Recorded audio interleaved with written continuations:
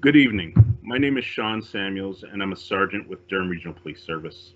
On behalf of the Regional Municipality of Durham, the Ontario Black History Society, Durham One, the Canadian Jamaican Club of Oshawa, and Durham Regional Police Service, I'd like to thank you all for participating in our Black History Month event tonight. It's a true honor for us to celebrate the many achievements and contributions of Black Canadians who throughout history have done so much to help build and make Canada a caring, compassionate, and culturally diverse nation.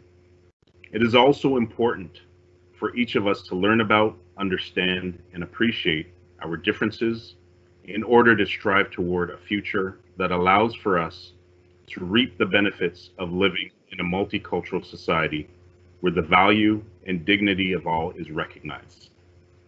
On that note, we will now deliver an acknowledgement of territory. It is important to make note of the relational and contextual quality of this protocol. An acknowledgement of traditional territory is an invitation to reflect on personal relationships with Indigenous nations. When we acknowledge treaty, we are asking individuals to explore their rights and responsibilities to place and people. And when land is acknowledged, we are encouraging you to seek out the history and teachings of the natural world. We would like to begin this by acknowledging that the land on which we gather is the traditional territory of the Anishinaabe Mississauga, adjacent to the Mississaugas of Scugog Island First Nation and in the territory covered by the Williams Treaty.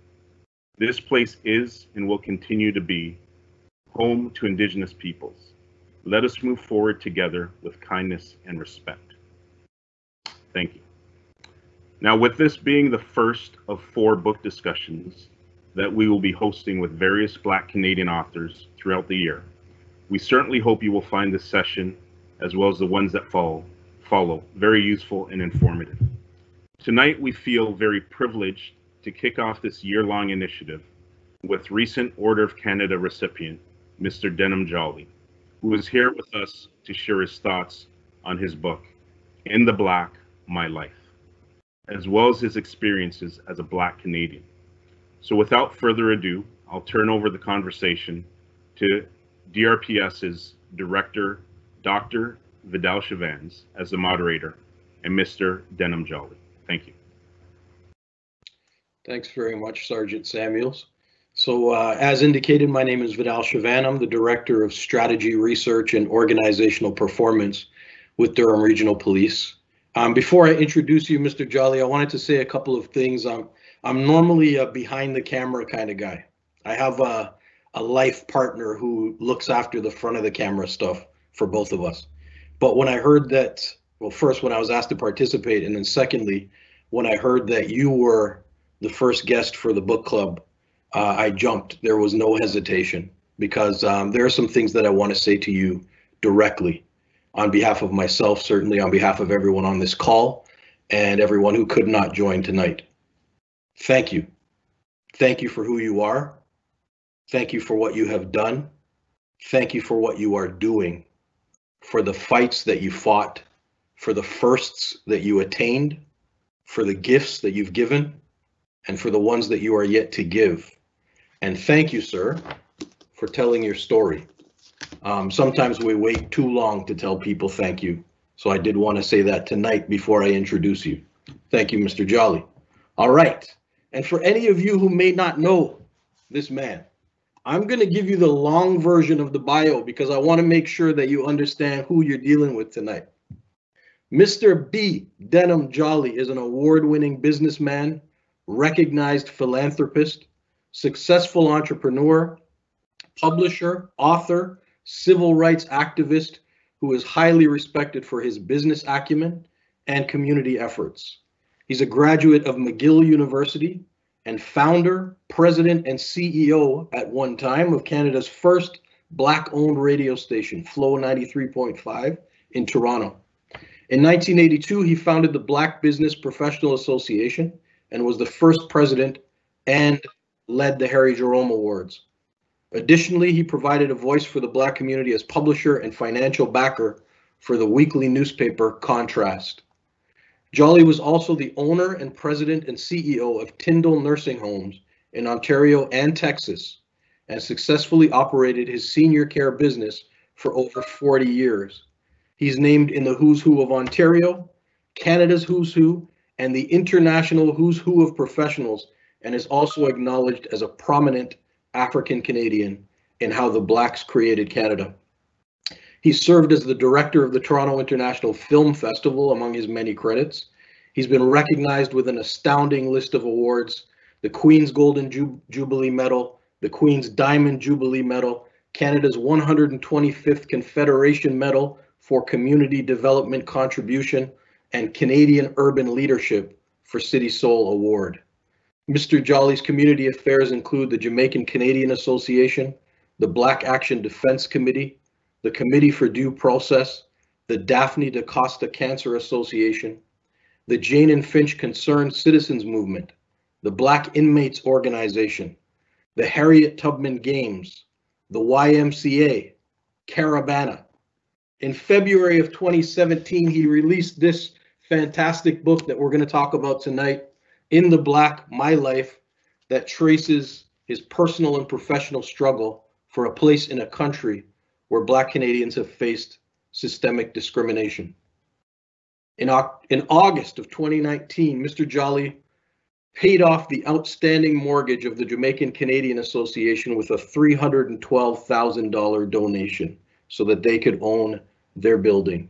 In November of 2020, the Governor General of Canada appointed Mr. Jolly with one of Canada's highest civilian honors, the Order of Canada, for his outstanding achievement and service to the nation. Today, Mr. Jolly continues his work as a philanthropist and a community activist, and it is an absolute pleasure, sir, to welcome you to this conversation. Well, thank you very much, Mr. Savaz. I uh, and thanks to all the uh, sponsors of this event. I've often said I'm not quite sure why people want to hear my story, but uh, if I could uh, bury my uh, my my uh, shyness a little bit, uh, after hearing that introduction that you gave, I I think it's probably worthy of a couple of seconds. but but thank you very much, and and thanks again for having me. Again, I don't know why people would want to hear my story. I'm always uh, very humbled about it. I uh, I grew up in a home where my mother was all and father were always helping people, and coming to Canada and not seeing uh, the kind of uh, treatment that I was accustomed to, I thought I'd do something about it for the less privileged among us. So, and the reason I wrote the book was I think a lot of uh, Caribbean people, and I've discovered recently my my dentist doesn't know her her grandmother. A lot mm. of us don't know the line of ancestors that we had because when we were kids and could have gotten some information, we were told to be seen and not heard. And then when we got older and found it was important to know and got very much interested in where we came from for our progeny, the people who had the information were all gone. So I wrote that book to put down a chronicle of my life for my my uh, my progeny. I, as I often say to people, it had unforeseen circumstances, um, or what do they say, uh, unexpected consequences. Luckily, they were positive. So here we are today discussing it, and thank you for having me again. No worries, and I'm just gonna I'm gonna put it up on the screen again because I want to make sure if you haven't picked this up, make sure you pick it up. Fantastic read. Um, so I'm gonna ask you a couple questions about some of the content in here. Absolutely. Uh, for sure. So, I mean, let's not beat around the bush. I work for Durham Regional Police. Sean, who you just met, works for Durham Regional Police. The book opens with you recounting an incident with a Toronto police officer. It's on Parliament Street. You're involved in a minor fender bender, and the officer demands that you call a tow truck. Um, in the conversation that ensues, he suggests that he might have to point a gun in your face if you don't do it. This wasn't very long ago, actually. No, um, actually, uh, if I could take the liberty of making a slight correction here, Sure. it was a little more severe than that. Um, he told me that I had to use the tow truck that he had called. Hmm. And I said, well, I have my own tow truck because I have my car has roadside assistance. I'm a member of the CAA, and my kids play hockey with a gentleman that owns tow trucks. And I really I appreciated his help, but I really didn't. Uh, I've been around the block a few times, and I prefer to control the circumstances around where my car is going, how much it's going to cost, and so on and so forth. So I thought, why not? I have my own tow truck. He took objection to that. He said, no, no, no. You have to use that tow truck. So, I, you know, Mhm. I have my own tow truck. Right. Said, no, So- you have to use that tow truck, or I'm going to give you a charge you with careless driving and give you a ticket for 500 bucks. I said, well, you know, I know my rights. I, Mhm. I, I don't have to use it. On just, I, you know, I, as you say, I'm an activist, and I don't like to be pushed around and have my rights taken away. Mhm. I said, well, you know, I know my rights, and I don't have to use your tow truck. So he says at that point, do I have to put a gun to your face? And I thought, really? Mhm. So I shouted out on busy Parliament Street, now you want to shoot me. and it went on from there. Um, I went directly to the police station and made a complaint. Mhm. Uh, it took forever to be called in by the detective to hear my side of the story. When I went in, he said, uh, "Oh, we're going to charge him. It's not so much uh, over your incident, but there's some other incidents that we're going to charge him for." I gather he had his his uh, his mouthpiece turned off. So I left there feeling that uh, this guy was going to be charged. In 10 days, I got a letter from, from the same officer saying, we couldn't substantiate your claim. So I, I made an appeal to the higher ups, OPRID or whatever, Mhm. and got a lawyer and asked for a copy of the transcript. Well, in that very, I I figure the the, the detective was probably quite truthful in saying we're going to charge him. Probably were, pro- I- and I'm surmising, but I live in I've lived in this country, and I I say in the book I know these people more than they know themselves. He Mhm. probably went to his superior, and his superior said, "What? You're going to charge a guy for, for, for some black guy?" So it came when I saw the report. It said, "Mr. Jolly, a 77-year-old Jamaican immigrant." Right away, I knew what the whole story was. Mhm. I've been a citizen for 50 years, and what does that have to do with anything with a car accident? Mhm. So, right I know I, knew where they were coming from. Right. So at this point, you had been in Canada for 50 years and you read. I've been here for 62 years. I've been a citizen for 50 years. Right. And you read, you read this report indicating that, um, that there was a Jamaican immigrant involved in this, this incident and they were referring to you. Um, and that helped shape sort of your, your rationale for writing down your story in this Oh, book. ab- absolutely. I thought people had to know. Uh, as a matter of fact, a lot of my colleagues were saying after they read the book, "Oh, I didn't know this sort of stuff goes on. Oh, I didn't know." But I find it hard to know that that uh, you know all the a lot of these incidents are, are in the, the media. They ought to know what goes on. for sure. So you would, you know, you've been in this country for a long time.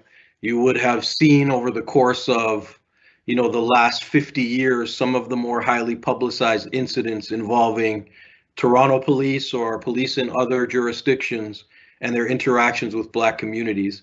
And I guess, you know, one of the questions that I have for you, we're, we're speaking in in 2021 on the heels of a global movement that has shone a light on anti-black racism and particularly on the relationship between black communities and police.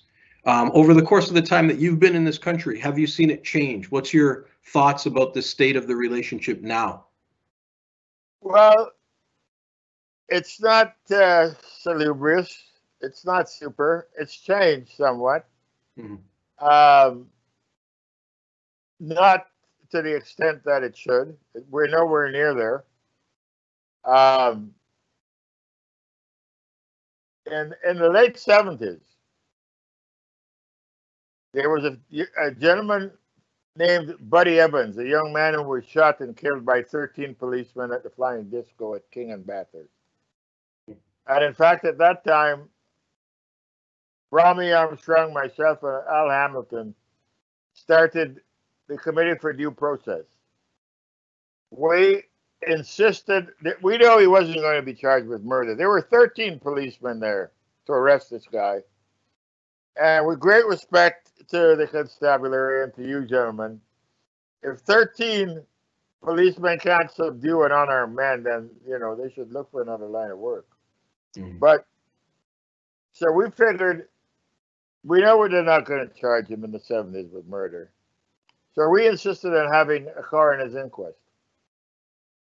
And at that time, we insisted and we put her hand in her pocket and hired a top notch criminal lawyer, Jack Pinkofsky, for the coroner's inquest. And at that time, we, between the press and the judicial system, we made that, we stood on that case, we marched, we demonstrated at City Hall and kept it in their face. We brought it up at the legislature. It became the longest inquest in the history of Ontario in a single death. The longest inquest in the history of Ontario. So, but but things are still not the way they should be with uh, with uh, at the time of the incident with the car. I said to myself, here I'm 77 years old. What would have happened if it was a 19 year old kid from, I was driving a Lexus. What if it was a 19 year old kid from Jane Finch driving a beat up Chevrolet? What would he, would he have shot him? Mhm. Good question. Um, and certainly sobering to think about, you know, you having been on the front lines of some of those battles that were fought. Uh, As a matter of fact, th- this gentleman did uh, charge me with careless driving, and I got a lawyer and went to court. Hmm. While we were sitting outside on a bench waiting for a case to be called up, one of the lawyer's friends came up to him and said, "You know, the the guy you're here uh, with the case against the policeman, nobody wants to work with him. No, he's he's not a nice guy. He didn't use those terms." I, I had a case with him last month defending a South Asian gentleman who this same policeman, is, this this gentleman had his kid was sick, so he pulled over to the side of the road for the kid to get sick, and this policeman pulled up behind him and said, "What are you doing here?" he said, "Well, what, what do you mean?" He said, "Well, what are you doing here?" And uh, the South Asian gentleman said to him, "My kid's sick. Can't you see that?" And said, "No, no. What are you doing in Canada?" So you know that's the kind of attitude and respect that people of color get, and it's still not not optimal. Mhm. Fair enough. And it works both ways. It works both ways. You know, you have to give people respect to get respect. Absolutely. So I wanted I want to actually take you back because at the beginning you mentioned, and I should say before I ask this question, there are questions coming up in the chat that I'm going to get to. If you have any questions, those of you who are are joining us online, put them in the chat. We have moderators that are picking them up and then they're passing them over to me on the screen here, and I will absolutely try to get to as many of them as I can. But Mr. Jolly, at the beginning, when you were providing your opening comments, you were talking a little bit. I want to shift gears a bit. You were talking a little bit about your mom and dad. Um, maybe you can just, for a brief moment, talk about where you grew up, what it was like with your mom and dad, and how you know they contributed to you becoming the man that you are now. Well, my my mom and dad set a, a an example of, of giving and humanity and humanism for me. Uh, in fact, my mother was on a, was a justice of the peace and sat on the family court. And being a small town, I, I grew up in Green Island, Jamaica. Most people don't know where that is, and I'm not going to tell them because we don't want them to know about it. Um, and she was at home one day, and someone came, small village, and said, "Oh, you know, so and so from around the cove." Um, she was a young mother that had a, a little problem, and the judge sent her to uh, to prison. And my mom immediately put a dress on, went to the court, and had a private audience with the judge and said, you know, she's a young mother, she's got a young kid. What's what's going to happen to her child? And and he uh, reversed his decision. That was the kind of person she is. If we were home having dinner and some one of our friends who were less fortunate came by, she would make sure they came and sit at the table with us and had dinner. In fact, we had the only well in the, we didn't have running water. And we had the only fresh water well in the village. And in the mornings, there was just a steady stream of people walking, walking right through the yard to get water from this well. And my father never cared. In fact, every Christmas, he would kill a cow or something and had a big party for the whole village. So we grew up in a community of sharing. My mother started a school for uh, for the, the, kids there that would not have had learning. In fact, the school was taken over by the government, and it's now called Cousins uh, Industries Basic Industry Coves Basic School, mm-hmm. and it's being run by the government. And I'm a I'm a mentor of that school actually right now. So my my family we weren't rich, but uh, we were a little more fortunate than everyone else. We had uh, a fair amount of land on the waterfront, so we had a pretty idyllic life. My father had horses, so I learned to ride, and we had a pretty good time. Mm-hmm. And my mother, the- my mother was into education, even though she never went to high school. Nor did my dad. But they saw the value of education and insisted and tried very hard to afford for us to go to school, me and my, my brothers and sisters. There were five of us. Mm-hmm. So we uh, had an idyllic life, I would say, because it's kind of relative and we didn't think we needed anything. So we had a fantastic time. Fair enough. One of the questions that's coming up in the chat, I'm going to get to right now. Um, but I want you to hold on to the education thing because I'm going to get back to it. Um, okay. One of the questions coming up in the chat that was asking about whether or not you still go back to Jamaica. Um, how often, and do you still have family there? Well, I haven't been for the last year because of COVID. Yeah, clearly. Yeah. I, I still have family there. I have a, a sister who was principal of the Montego Bay High School for Girls in Montego Bay. She was the first black principal. Mm-hmm. Right, uh, ended the colonial rule on Montego Bay High School. I have a sister who is a uh, was a registered nurse and is retired, and I have a brother there who uh, does his own thing. He was managing a property for uh, which I sold to a company from Spain that's building 200, 2,000 rooms in a hotel there in Green Island. Mm-hmm. And I go back quite. I used to go back every six weeks. We have a place in uh, Negril, a beachfront cottage, and we enjoyed it very much. We're very uh, sorry we can't go right now. There's not not the best time for traveling. For sure. I think um, I think one of the things that they told me about this is if I did this call with you, that I would get a trip to the cottage. But I mean, we'll, we could talk about that. Abs- later. abs- Absolutely, just let me know.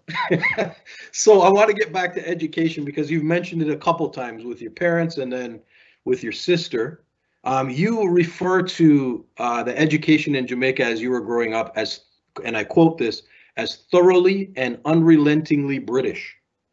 Yes. And. I'm curious, I'm curious to hear about that, but then also about your thoughts about our current education system and whether, whether there are still some lessons to learn about ensuring that it, it is a bit more inclusive. Well, as I said, um, my sister was the first Jamaican to head up this high school. It was always British people. So that was the situation. Um, I've always answered that question by saying I knew more about the Tudors and Stuarts than I knew about Marcus Garvey or any any of our heroes. Um, Mhm. I knew nothing about Jamaican history. I'm, in fact, I'm learning more about it now than I knew then. And as as as a colleague of mine referred to these dead white men like Shakespeare and and and Chaucer and we knew nothing about our, our own people. Mhm. And it I, don't- I don't think it did anything for self-esteem because we were made to think that if it's not British, it's not the best thing for us. And our my headmaster was a was a was an Englishman, we, and uh, a lot of the staff were Englishmen. In fact, I had a math teacher who liked to talk about the Cotswolds, which is a place near Oxford in England, and very little about our island, and very little was encouraged to be taught about it. Mhm. Uh, I I think that's it's probably changing somewhat. I'm I'm mentoring a, a young lady in high school right now who is in sixth form. And just yesterday, my partner and I were looking over her results, and we see where she had Caribbean studies on her uh, on her report card, which we thought was a good thing. Mhm. But uh, in my day, there was nothing of that nature, and uh, you, you were tr- you were groomed to be British. Mhm. In fact, it was infradig to speak patois anywhere on school property Hmm. at high school. You know, you you had to speak the school's the king's English at all times. Mhm. So it was very colonial, and um, it was very effective. Because to this day, I say to my colleagues, you know, I think that colonialism got in our DNA. Hmm. Because it's very hard to get out of. It, it is so subliminal that we hardly know about it. We Mhm. hardly realize it and are aware of it in many instances. For sure. What are some of the the ramifications that you see? Like what are what are some of the long-term implications of colonialism in, in the way that you're referring to it? Well, it even goes down to race. You know, um, we're made to, to to think that white is better. We were made to think that uh, when I was growing up in Jamaica, it was uh, Africa was referred to with uh, reticence. Mhm. And to this day, uh, very few, not very few, but people are, some, a lot of people are somewhat reluctant to refer to themselves as Afro Canadian or Afro American or Afro whatever. And one of the things that you say there is uh, a lot of Jamaicans, for example, when you ask them about their ancestry, they, they will say, "Oh, I got Irish, and I might have Scottish, and I've got Indian," and the last piece of it they they want to mention is they're African. Mm. It, that's very rampant, I think, even in today's society. Fair enough. So you you having been a product of this system now as a young man arrive in Canada. And one of the things that you chronicle in this in this text is all the different and sundry jobs that you had coming up. Um, there are a number of them listed in the in the book, but I'm just curious about having having come up now through the the education system in Jamaica that you refer to as you know unrelentingly British. You end up in Canada. There's clearly not a whole lot of people that look like you. Um, what was it like when you first arrived? Um, what were some of the things that you observed? How did you find your footing in a country that was foreign to you um, in a number of ways? Well, I took after my father in terms of officiousness. I was not afraid to stand up to people. And I didn't allow myself to be pushed around. But it was intimidating. For example, in a, in a, in a large class, just because of your accent, you were afraid of asking any questions in a, in the university class because you get up and open your mouth and he says, by the minute you say, sir, you have 50 eyes glued upon you and wondering about you and so forth. But, and, and you know, you were uh, not welcome, you know, um, even right up to the, the head of the college. When I was at McGill, I borrowed $200 from the bursar one year. And he was a nice man, very nice man, Mr. Puxley. And he told me all the ins and outs of how to get the loan, you know, and he said, you know, if you if you if you paid off when you at the end of the summer, we lend it right back to you. Roll it over. So at the end of the summer, I paid uh, paid it off, and put in an application. But Mr. Puxley was downsized. So I had to go to the dean of the college now, Dr. Dion. And went in, his office was the size of my house. He must have been expecting me. I didn't just knock and walk in. His secretary showed me in. And uh, first thing he said, uh, so why are you here? I said, well, sir, I had borrowed $200 and uh, Mr. Puxley said if I had paid it off, I, I in with my application, right? Uh, Mr. Puxley said if I had pay, if I paid it off, I could borrow it again. Knowing for a while Mr. Puxley was downsized, he said to me, so go to Mr. Puxley. so so I walked out of there and I tore it up and I said, you know what? If I have to eat pieces, I'm I, you won't see me again. I didn't say it to him, but I went back to my room, tore it up, and threw it in the wastebasket. Mm-hmm. But but those are the things uh, we had to put up with. But you know, I dug ditches. Funnily enough, they're re, they're re uh, redecorating or or renewing Regent Park. They're building high rises there and putting up new buildings. Mm-hmm. And during my university years, I worked for the Metro to tear down the old buildings that had put up the buildings that they're tearing down now. Well, so I've been here long enough to see even real estate go full cycle. Mm-hmm. I, I dug ditches. I uh, I worked in breweries. Uh, I did landscaping. I uh, had so many jobs. I had a job at uh, the Canadian National Railway loading the trains. And uh, I spent a year, a couple years at Dalhousie University. And so at the end of the summer, my foreman fixed me up and I rode the boxcar. I rode the boxcar from Toronto to Halifax. Wow. To go back to school. So uh, I've done it all. Mm-hmm. Yeah, it's interesting, you know, especially if I if I talk about people my age, we'll see you come on the scene with Flow 93.5 and not know the blood, sweat, and tears that have gone into you arriving at that place. But there was a question actually that came up in the chat about Flow. And so I'm curious, Why was that something that you were so passionate about, and why did you not give up on seeing Flow come to fruition?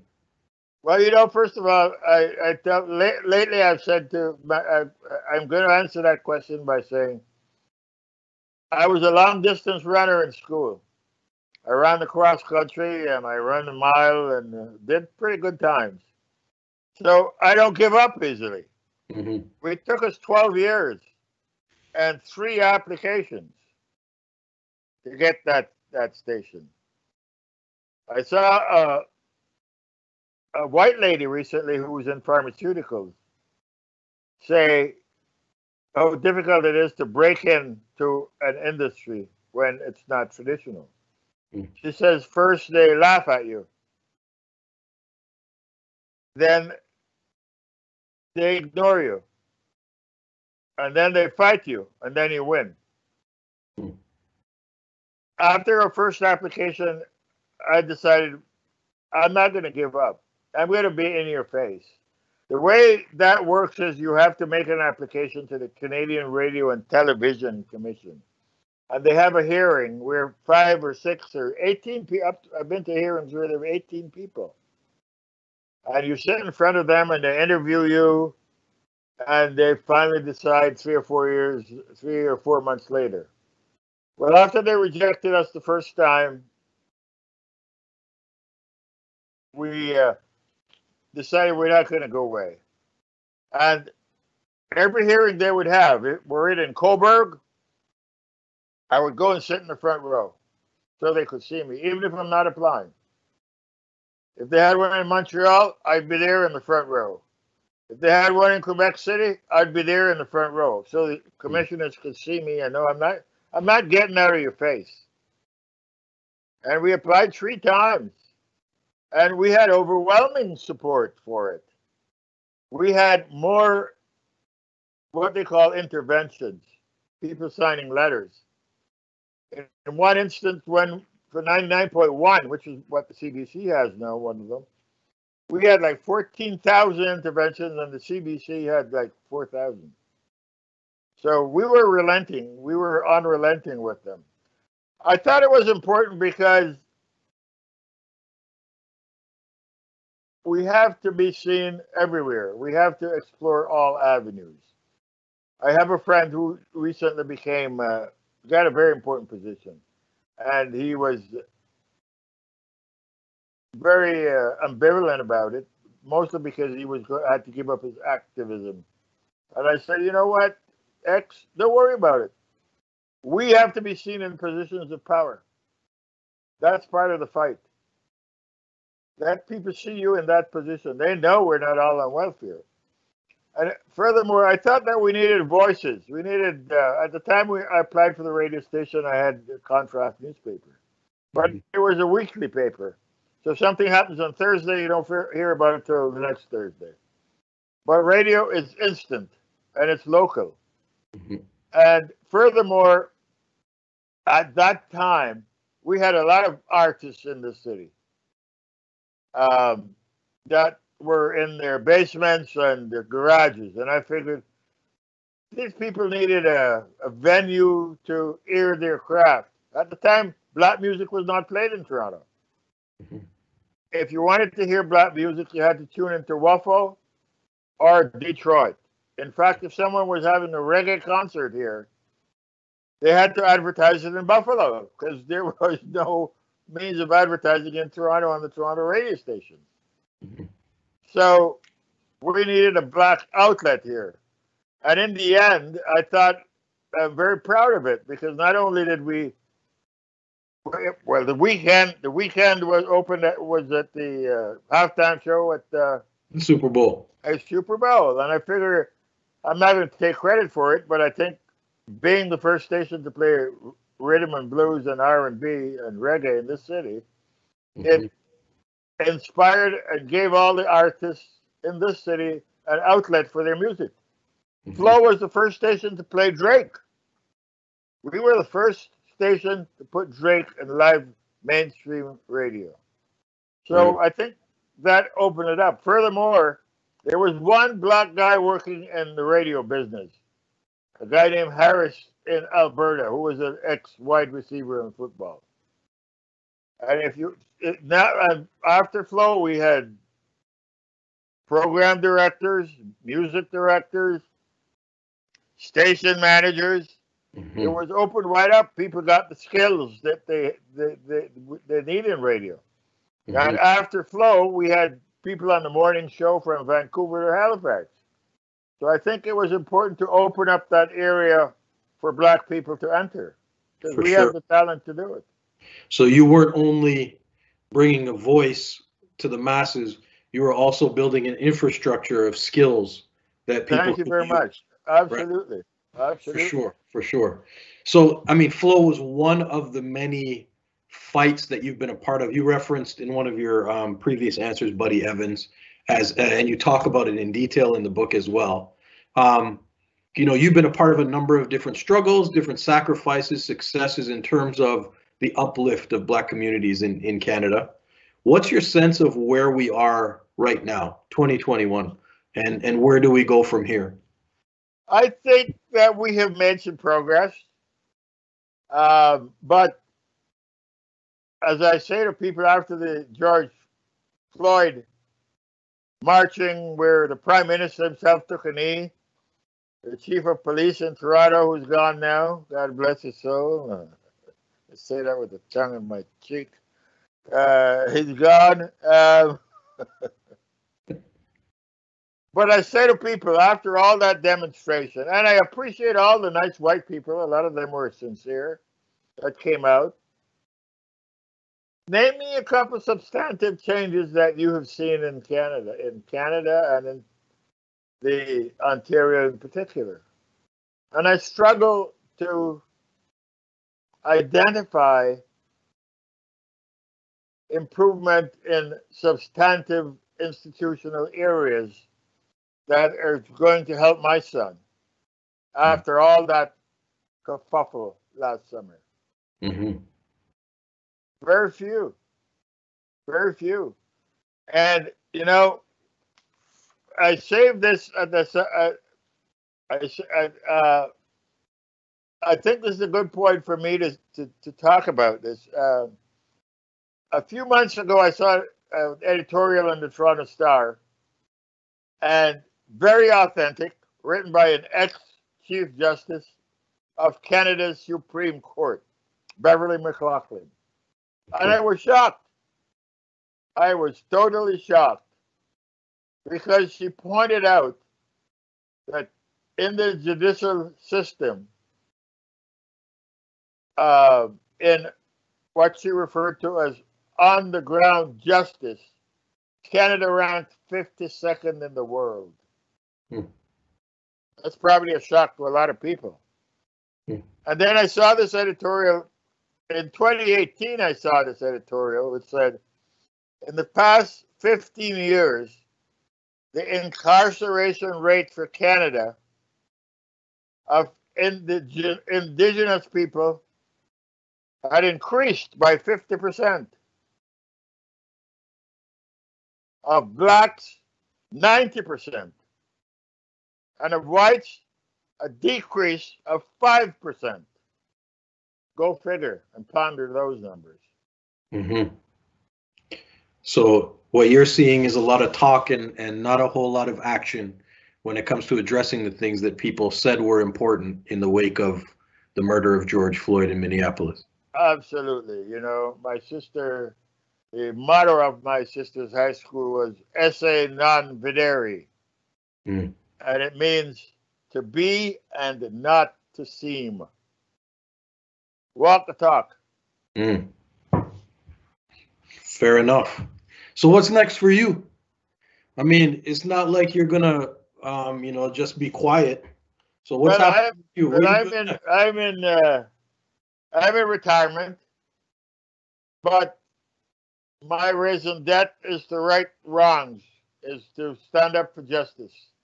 Mhm. And I can't see an injustice and not address it as long as there's life in my body.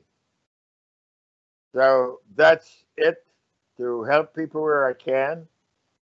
I uh, um sponsoring a boys uh, Regent Park under 12 soccer team. We they were first in their league last summer, hmm and things of that nature. I'm started a breakfast program at my old high school in Jamaica, Cornwall College. We feed 60 kids a day there. And uh, just this morning, I had a, a discussion with the director of the food bank over here at St. Jamestown. I uh, like to help people and stand up for justice. hmm So you're not slowing down. You're just changing gears.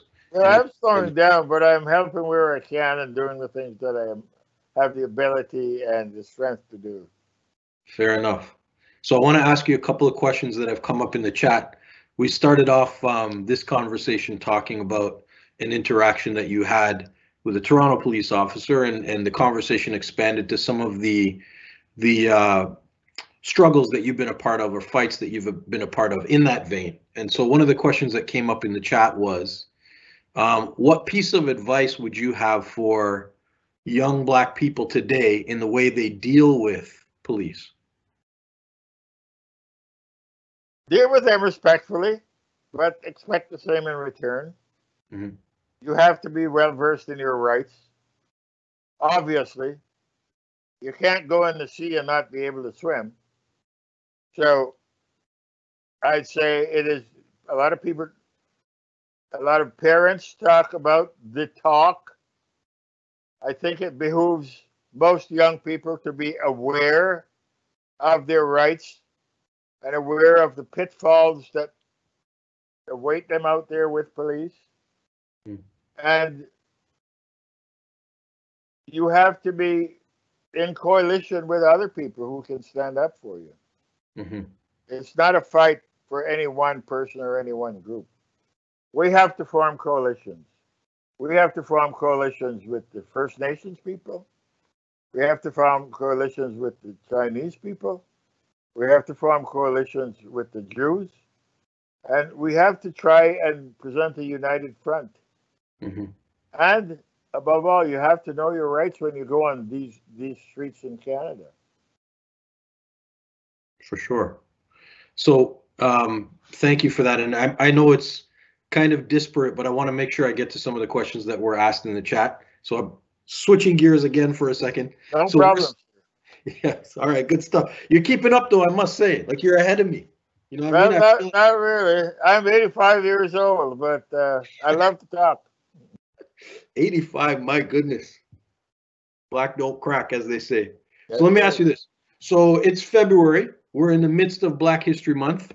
Um, you know, there you've you've seen a number of these Black History Months come and go over the course of your time in this country. Uh, I guess the question that the the individual in the chat was asking was, what does Black History Month mean to you? Uh, is it enough? Um, what what sort of should be our goal in Canada when it comes to the celebration of the contributions of Black Canadians? Well, to me, Black History Month means that we can present ourselves to others and others can learn about us and about our accomplishments or contributions and probably get an awareness and appreciation of what we brought to the table. And in fact, I think it also a learning opportunity for ourselves. Because a lot of blacks, I always say that we have a very rich heritage. And that's one of the things that we have to fortify ourselves with to get self esteem and be able to stay away from drugs and guns and what have you. It all starts from a lack of self esteem. So even it's even for ourselves. Um, we have been accused of being at the foot of the totem pole, welfare recipients, yagada yagada. How many of our people and how many young blacks know that Timbuktu was the center of learning in Mali? Mm-hmm. That the ruler of Mali around the 13th century was a, was of course a black man named Mansa Musa, Mus- Musa. And he was one of the richest men the world has ever seen. Mansa Musa was worth, in today's money, $400 billion in gold. How many of our people know that? How many people know it was a center of learning? How many people know that we were doing chemistry and trigonometry there before Europe? People have to realize the very rich heritage and history that we have in Africa where we came from, that we predate Europe in terms of learning. Mhm. And I think that that now it's it's uh well some of the things are willfully left out. Um, the, the, in Canada, we're guilty of the sins of omission when it, it comes to our history. Mhm. Mathieu da Costa has been here since 1603. He, he took Champlain up the St. Lawrence River. Mhm. 400 years ago, blacks have been here. And people people are, still, and we have to be made to make sure that these things are learned. Mhm. People are still don't want our history to be known. Recently, my partner came to me and said, "Oh, you have to know, you have to know about this girl. She's a Jamaican girl who came here about eight years ago. She goes to Ryerson. She's doing biomedical physics and was doing research at Sunnybrook. I saw it and and on um, this lady Denis on TV, and I saved it. So we watched it, and after the program, th- this girl was awarded a global award for. um she was giving away hygiene products, and she got a global award for it. Mhm. So I watched the program, and Marilyn Denis interviewed her. She was she grew up very poor in Jamaica, didn't have hygiene products, uh, did all kinds of things to make do. She came to Canada, decided to do something about it, and started this this uh, organization and distributed all around the world. So she got this uh, award, and then the program ended.